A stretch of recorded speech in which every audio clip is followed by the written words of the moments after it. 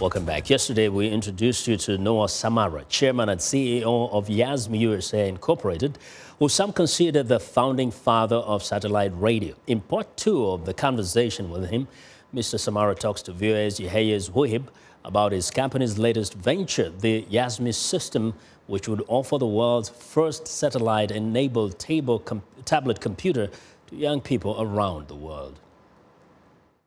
The YAZMI system consists of a satellite network, a tablet, a server in, in that sits in a school and creates a Wi-Fi connectivity and provides continuous satellite updates to the tablets and the devices that students are using and a solar power charger for places where electricity is non-existent and, uh, and content. The YAZMI system is operational right now in Addis Ababa, Ethiopia, and of all places, at a high school, St. Joseph. How did that all come about, and is YAZMI having the intended effect? In May of, the, uh, of this year, we, uh, we uh, went to the principal of St. Joseph, which was the high school I went to. I think that school is familiar to me too. Okay.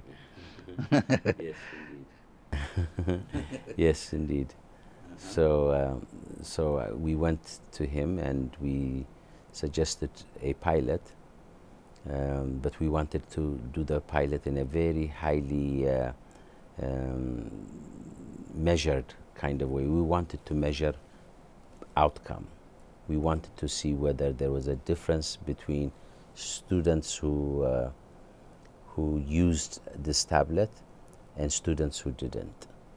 So we crafted the, the design of the, the pilot itself in a very careful way.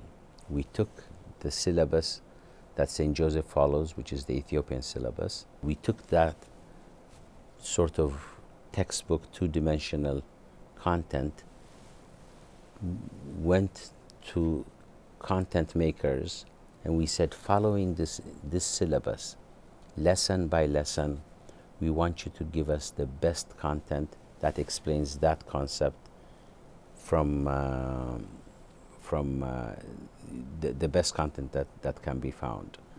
So they went on and they took each lesson, amplified each lesson and reduced it into a video content that summarized that lesson in you know several minutes.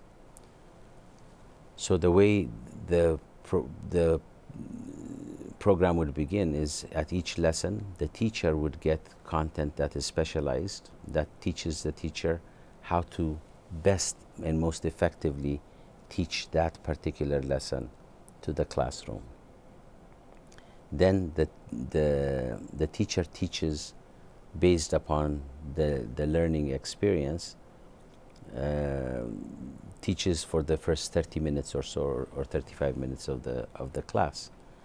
Then the video is played as a reinforcer to what the students have just learned. Uh, and, and then after that, there is an assessment that occurs so that they, they self-test and that assessment automatically goes to a server.